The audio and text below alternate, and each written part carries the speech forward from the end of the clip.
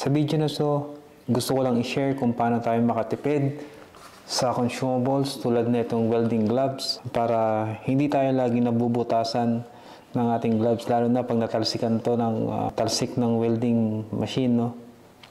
Madali siya mabutas. So gagawa natin ng paraan na hindi kagad siya ah, mabubutas. So matagal natin magagamit dahil medyo mahal din to kahit pa paano no? Malaki yung matitipid nyo kaysa bili kayo ng bili ng welding gloves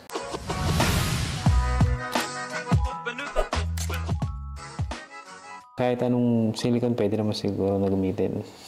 Dahil para maprotektahan lang natin itong ah, welding gloves natin na hindi ka agad mabubutas.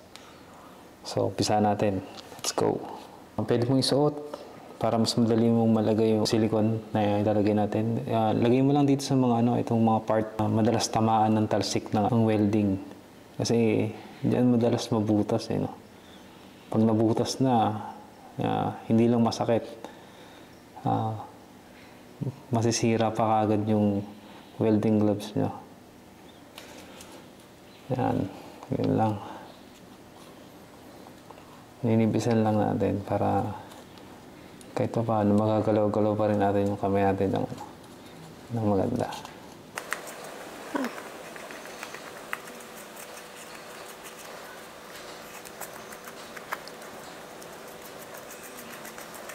So, ganyan lang yung pinaka ano natin, gagawin natin na make sure lang na maanuhan nyo yung mga yung mga tahi ng gloves kasi dyan madalas ano eh, mag-uumpisa yung pag natalsikan matatastas. So, eto kahit mag-grinder ka, hindi ka basta-basta ma, ano, mabubutasan ng gloves.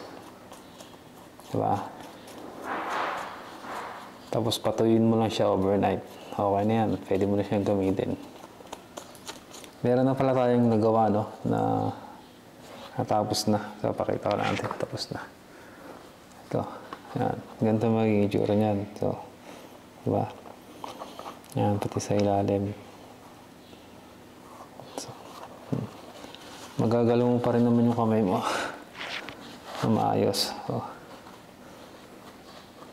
So, kahit matalsikan ka rito ng mga ano, talsik ng grinder o ng welding, hindi basta-basta mabubutas yan. Tibay na yan. Kasi parang may rubberize na. yan. Nagkaroon ng rubberize eh. Sana may nakuha kayong idea video na to. So, until next time, kung hindi ka pa subscriber ng channel na to, so please do subscribe to my YouTube channel para updated ka sa mga future videos na tulad nito na maaaring makatulong sa'yo.